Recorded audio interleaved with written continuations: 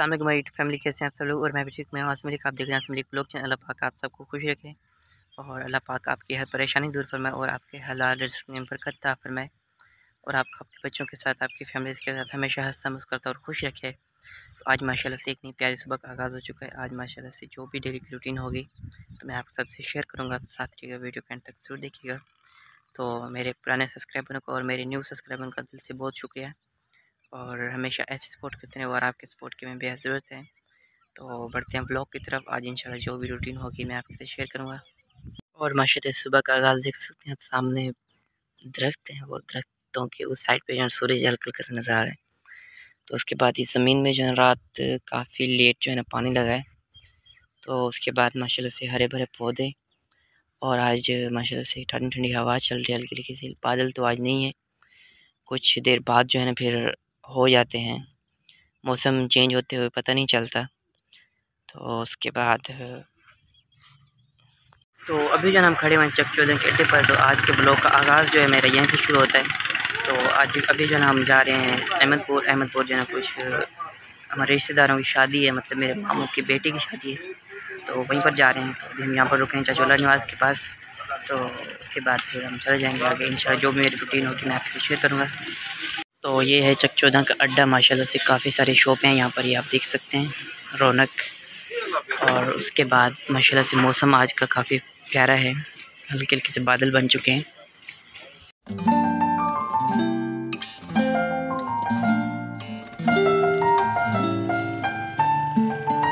जी तो बस अभी जो है ना हम पहुँच चुके हैं मतलब जहाँ पर शादी है, लेकिन शादी वाले घर जो है ना अभी तक हम नहीं गए तो यहाँ पर जो है ना मामू का घर है। वहाँ गए हुए हैं। तो फिर हम मतलब मामू और उनके बेटे मतलब हम साथ जाएँगे फिर शादी वाले घर। तो अभी हम यहाँ पर पहुँच चुके हैं माशाल्लाह से, जहाँ पर शादी है। बस करीब ही शादी पर, पहुँचने वाले हैं वहाँ पर। तो इंशाल्लाह आज जो भी रूटीन होगी मेरी मैं आपसे शेयर करूँगा। यहाँ पर जो है ना मैं खड़ा हूँ इस दरख्त के मतलब नीचे ब्लॉक शूट कर रहा था। तो यहाँ पर देखें यहाँ पर जो है पानी स्टाक करते हैं। तो फिर मतलब इस्तेमाल के लिए यहाँ से जो है भरते हैं। तो अभी जो है ये सूख चुकी है क्योंकि पानी नहीं आया यहाँ पर। तो उसके बाद अभी यहाँ पर बैठे हुए हैं। अबू और सब जो है यहाँ पर बैठे हुए हैं तो बातें वगैरह कर रहे हैं। और यहाँ पर देखें माशाल्लाह, दरख्त कितना प्यारे हैं। ये देखें तो काफ़ी मतलब प्यारे दरख्त हैं, हरियाली, और ये विलेज मतलब ये जगह भी काफ़ी खूबसूरत है।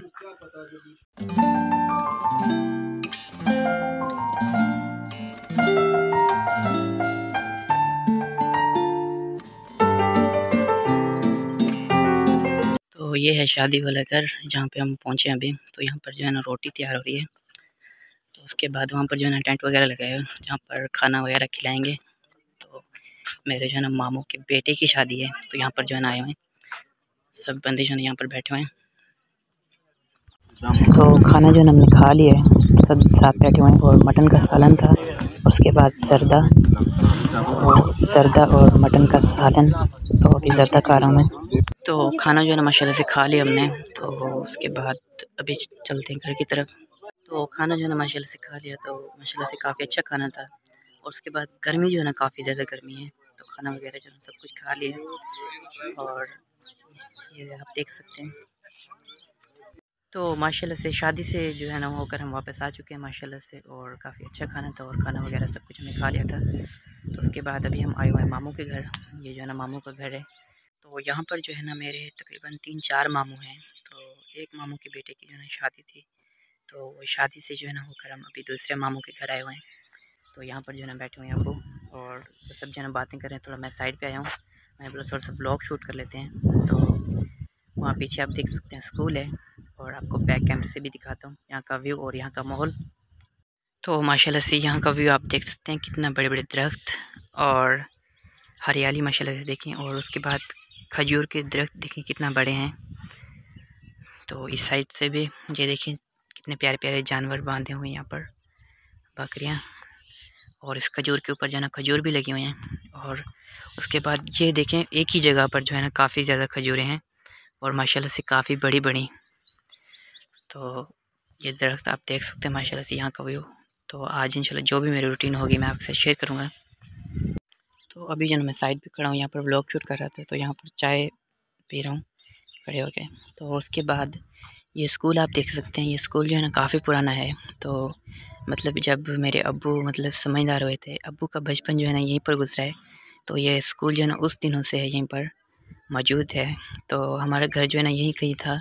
हमें तो याद नहीं है, क्योंकि हम तब पैदा पैदा भी नहीं हुए थे। हमारी पैदाइश पता नहीं यहीं की है, या लियाकतपुर की है।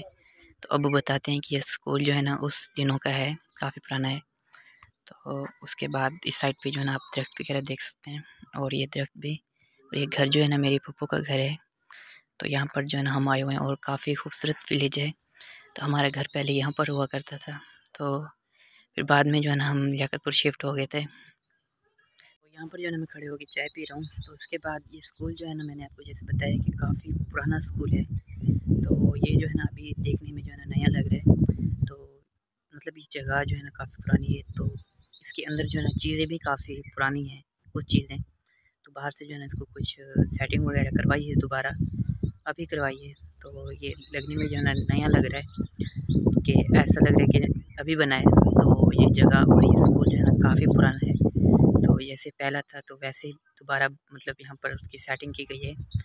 तो कुछ चीज़ें जो है ना इसके अंदर पुरानी है मतलब काफ़ी पुरानी है। तो स्कूल भी काफ़ी पुराना है, माशाल्लाह से। मतलब अबू के बचपन का अबू बताते हैं कि हमारा बचपन यहीं पर गुजरा है। तो हमारे बचपन का तो पता नहीं तो हम समझदार जब हुए थे, हम वहीं पर थे लियाकतपुर में। तो अब बताते हैं कि हमारी ज़मीन और हमारा घर जो है ना यहीं पर था, इसी विलेज में और इसी शहर में, ये शहर जो है ना अहमदपुर से थोड़ा सा पीछे शहर है और इस जगह का नाम है राड़ी बोलते हैं इस जगह को। पता नहीं क्या बोलते हैं, जो भी तो काफ़ी अच्छी जगह है ये। तो जब यहाँ पर आते हैं तो काफ़ी अच्छा लगता है। आज का वो लोग पे एंड करेंगे, क्योंकि मैंने चार बजे जो है वीडियो अपलोड करनी होती है तो इंशाल्लाह अभी मैं यहीं पर हूँ तो वापसी जब जाएँगे घर तो ब्लॉग बनाऊँगा इंशाल्लाह। वो आपको कल के ब्लॉग में शेयर करूँगा आपके साथ। तो अभी आज का ब्लॉग यहीं पे एंड करते हैं, क्योंकि चार बजे वीडियो अपलोड करनी होती है मैंने। तो मिलते हैं नए ताज़ा फ्रेश ब्लॉग के साथ, तब तक के लिए इजाज़त। अल्लाह हाफिज़। दो में याद रखना, अपना बहुत बहुत ख्याल रखना। अल्लाह हाफिज़।